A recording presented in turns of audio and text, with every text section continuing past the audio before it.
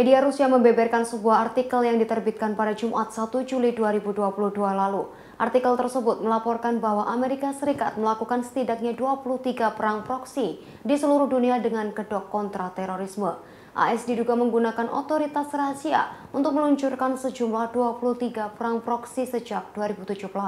Konflik yang terjadi antara Rusia dan Ukraina dicurigai sasaran program rahasia tersebut. Dikutip dari tribunwow.com, terdapat setidaknya 14 program rahasia yang disebut 127E aktif di kawasan Timur Tengah dan Asia Pasifik.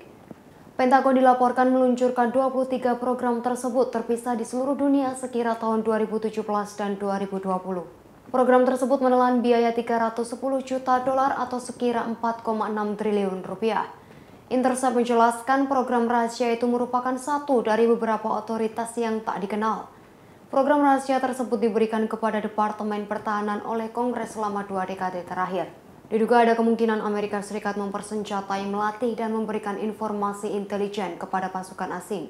Namun berbeda dari program bantuan asing pada umumnya, pasukan Tel-7E diharapkan mengikuti perintah Amerika Serikat. Tak hanya itu, pasukan rahasia tersebut juga disebut melakukan misi yang diarahkan Washington.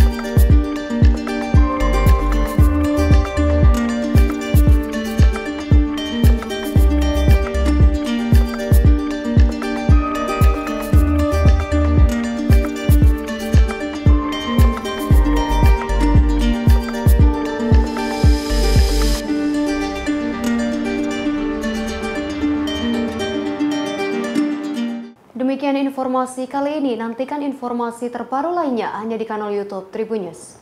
Terima kasih sudah nonton. Jangan lupa like, subscribe, dan share ya.